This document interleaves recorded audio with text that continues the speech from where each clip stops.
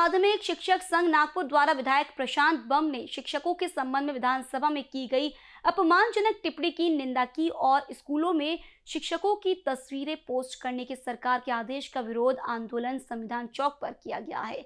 इसके बाद शिक्षा अधिकारी काटोलकर के ज़रिए शिक्षा मंत्री को ज्ञापन भेजा गया। इस आंदोलन का नेतृत्व विमाशी संघ नागपुर के अध्यक्ष विट्टल जुनघरे ने किया था। विरोध प्रदर्शन में अविनाश बड़े, दिलीप बोके, रमेश काकड़े संजय वारकर, प्यारेलाल लोणारे, राजेश गौरे, राकेश दुमपलवार, वामन सोमकुवर देवराम मांडवकर और आदि उपस्थित थे। कैमरा पर्सन राजकुमार मोहर के साथ क्षितिजा देशमुख बीसीएन न्यूज़ नागपुर।